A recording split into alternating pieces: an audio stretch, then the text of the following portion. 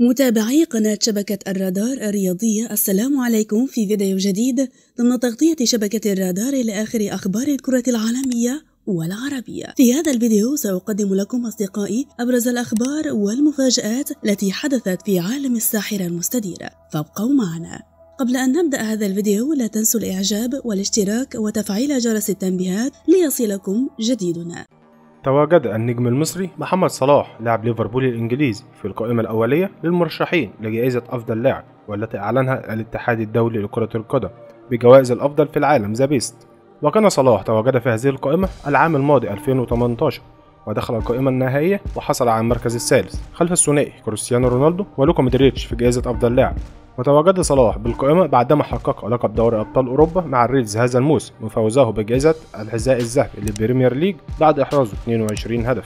وذكر الموقع الرسمي للفيفا أن القائمة الأولية تضم 10 مرشحين بناء على إنجازات كل منهم. خلال الفترة من 16 يوليو 2018 وحتى 19 يوليو 2019 كما أعلن الاتحاد الدولي لكرة القدم أيضا عن المرشحين لجوائز أفضل مدرب والتي شهدت تواجد الجزائري جمال بالماضي على رأس القائمة بعدما حقق كأس الأمم الأفريقية 2019 مع منتخب بلاده بجانب الألماني يورجن كلوب والأسباني بيب جوارديولا. ويتم اختيار الفائز بجائزة الأفضل في العالم The Best من خلال أربع طرق للتصويت بنسبة 25% تقسم بين اختيارات الجماهير عبر الموقع الرسمي واختيارات مدربي منتخبات العالم واختيارات قادة منتخبات العالم واختيارات الإعلاميين من كل دول العالم ويحصل صاحب المركز الأول في التصويت على خمس نقاط مقابل ثلاث نقاط للاختيار الثاني ونقطة وحيدة لصاحب المركز الثالث. ويتم الكشف عن القائمة النهائية لكل جائزة والتي تضم ثلاثة فقط في وقت لاحق. وسيتم الإعلان عن الفائزين بجائزة The Best خلال حفل سيقام في مدينة ميلانو الإيطالية في الثالث والعشرين من سبتمبر المقبل.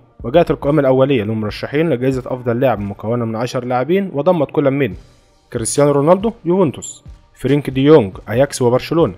ماتياس دي ليخت أياكس ويوفنتوس هاري كين توتنهام إيدن هازارد تشيلسي وريال مدريد ساديو ماني ليفربول كيليان مبابي باريس سان جيرمان ليونيل ميسي برشلونة محمد صلاح ليفربول فيرجيل فان دايك ليفربول. وفي النهاية هل تعتقد عزيزي المشاهد أن محمد صلاح قادر على حسم الجائزة هذه المرة أم هناك لاعب آخر سيتفوق عليه؟